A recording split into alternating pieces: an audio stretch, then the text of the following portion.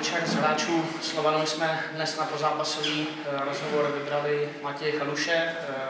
já ho nejdříve poprosím o eh, jeho pohled a shrnutí dnešního duelu z jeho pohledu. Dobrý večer.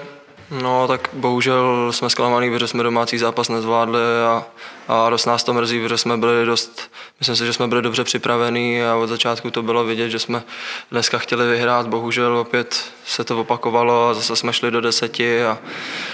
a pak to bylo těžké, i když si myslím, že jsme tam nechali všechno a, a určitě jsme nebyli horším soupeřem dneska i v těch deseti, tak jsme to prostě nezvládli a, a, a mrzí nás to. No. A teď už prostě pro vaše dotazy poprosíme na mikrofon zase.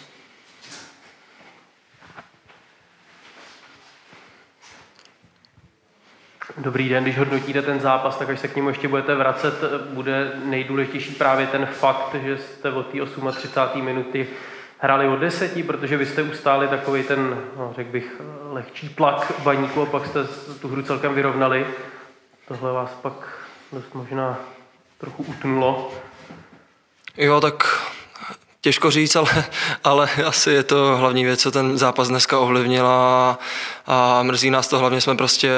musíme to brát i tak, že jsme oslabený do dalšího zápasu, protože Chris dostal rovnou červenou, takže Bůh ví, co to zase bude za trest, jestli se vymyslí, že zase bude chybět tři zápasy, že nám takhle důležitý hráče eh, prostě budou vydistancovaný eh, na tři zápasy, tak to je prostě pro nás těžký, no, ale, ale abych se vrátil k otázce, tak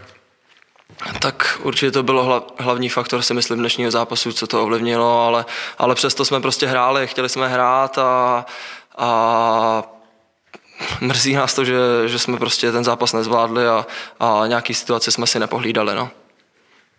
Předpokládám, že po derby asi musela být nálada výborná, vypadalo to, že se všechno v dobrý obrací, tak jak velká rána to teď je před reprezentační přestávkou? Tak určitě to je rána. My jsme, my jsme vlastně teďka tři zápasy neprohráli a, a věřili jsme tomu, že to půjde nahoru, ale jsem přesvědčený, že, že tohle to nás nezlomí, tato prohra. Naopak jsme si prostě ukázali, že, že jsme tým, že dokážeme hrát důstojně, vyrovnaně i v deseti a, a myslím si, že na té naší cestě nás, prostě nás to z té cesty nerozhodí a, a že budeme makat dál a že ty výsledky a, a i ten herní projev prostě bude zápas od zápasu lepší a, a věříme, že prostě se vrátíme tam, kam patříme. Jestli vás můžu poprosit o pár slov k Miroslavu Stochovi, protože vy ho vydáte na trávníku, tak eh, říká se o něm, že je to prostě fotbalista jako blázen, že, že to má v noze, tak eh, jak se vám právě tohle potvrzuje na trénincích a věříte, že teda bude velkým přínosem pro Slovan. Jo, tak určitě o tom nikdo jako nepochybuje o nás od první, od první chvilky, od prvního tréninku, co přišel, v tom utvrzuje, že fotbalista je to kvalitní. Vlastně, když se podíváte na, na jeho kariéru, tak to je prostě excelentní hráč a, a můžeme být všichni rádi, že vůbec je v naší lize takovýhle fotbalista, na to ještě u nás v Liberci a jsem přesvědčený, že nám určitě pomůže, že to hned bylo vidět, jakou kvalitu má hned, jak nastoupil dneska. Ještě vlastně v souvislosti s mě napadá jedna otázka, pardon, úplně mimo zápas. On když přišel, tak říkal, že byl překvapený, že i přesto, v jaký je Slovan situaci, tak je všude dobrá nálada, že všude hraje hudba a tak dále. Tak jsem se chtěl zeptat, kdo má tohle v kabině na starosti. ne, tak prostě snažíme se, uh, kdyby jsme se snažili utápět v té Eh, situaci, jaký jsme. Samozřejmě všechny nás to štve, ale tvrdě makáme na hřišti nebo na tréninku a, a potom, když prostě sejdeme ze hřiště, tak se snažíme vytvořit dobrou atmosféru v kabině a, a je tam víc takovýchhle lidí, ale, ale myslím si, že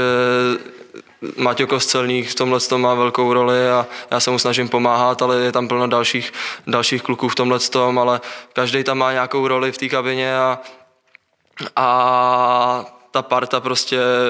je skvělá, tak jako každý půl rok tady prostě o tom není, o tom není třeba ani jako povídat, každý, kdo tady byl, tak to ví a myslím si, že to každý potvrdí.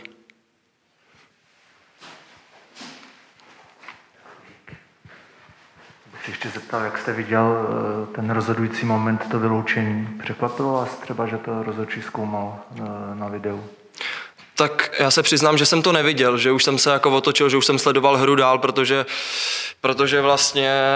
ta hra nějak plynula a, to, že tam zůstal e, jejich hráč e, ležet, tak, tak to jsme si jako nějak moc nevšímali a, ale takže to vlastně tohle, ten druhý zákrok nemůžu zhodnotit, ale těžko říct, jestli tohle prostě bylo rovnou na červenou kartu, já nevím, no to se na mě, ať se na mě nikdo nezlobí, ale nevím. Já Neviděl jsem to, takže to hodnotit nebudu, ale ten první zákrok, první žlutá karta, takovou žlutou kartu dát,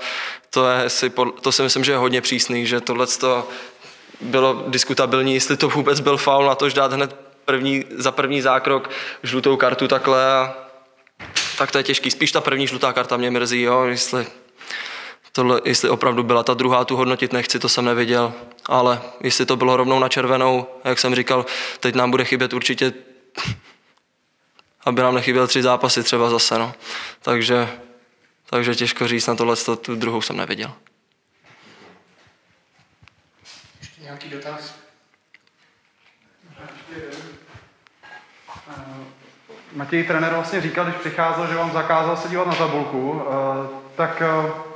asi to pořád není jako úplně hezký pohled, ale přece jenom eh, teď ty poslední zápasy, kromě toho dnešního, vyšly, tak jak třeba vyhodnotíte to období od toho, co, co trenér přišel, jak se třeba podařilo přelíst nějaký hry, který ten nový realizační, realizační tým chce, nějaký herní věci přelíst do zápasu a tak dále? Tak já si, já si myslím, že to je vidět Prostě, že teďka se snažíme hrát jiným stylem a ať se snažíme rozehrávat, jo, že jsme prostě si myslím, že dneska se snažili kombinovat, i když jsme byli v deseti, takže jako myslím si, že určitě nějaké změny tam jsou vidět a, a samozřejmě ono to nepůjde hned, ale prostě všichni tady jsou odhodlaní se tomu podvolit a, a prostě učit se tyhle ty věci a věříme, že i třeba tahle repre pauza těch vlastně ty dva týdny teďka, co budeme mít do dalšího zápasu, tak, tak se zase tím posuneme a, a budeme se ty věci učit a budeme ještě lepší.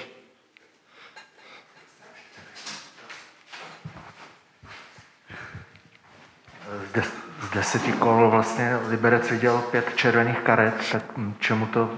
přisuzovat a jak velký to je problém, jestli tak problém je to velký, tak vidíte, že ty zápasy, vždycky ta červená karta rozhodne, dejme tomu vyjmo, vyjmo zápasu ze Spartou, kdy jsme 1-0 prohrávali a Sparta ukázala velkou kvalitu, ale ty zápasy nás vždycky stály body, no, takže čemu to přisuzovat, samozřejmě byla tam červená karta, můžu říct, že já včera dostal zaslouženou červenou kartu s Hradcem, ale, ale dál už to komentovat nechci a myslím si, že každý,